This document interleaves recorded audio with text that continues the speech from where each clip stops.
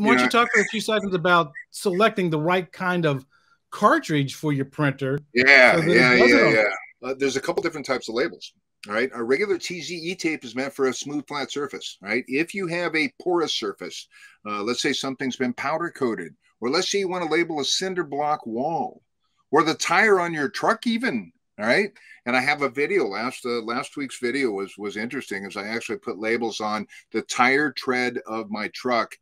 Drove down a dirt road, drove three miles to a car wash, drove my truck through the car wash, and every single label, including the tread, was still there.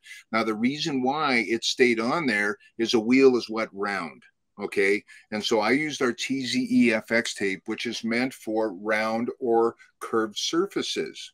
So anyway, um, if you use the right label, it's not going to come off until you peel it off. So TZE for smooth flat surfaces, we have an extra strength tape. That extra strength tape again is going to be for that cinder block wall or that powder coated rack, and it's got a softer adhesive that gets inside those nooks and crannies, if you will.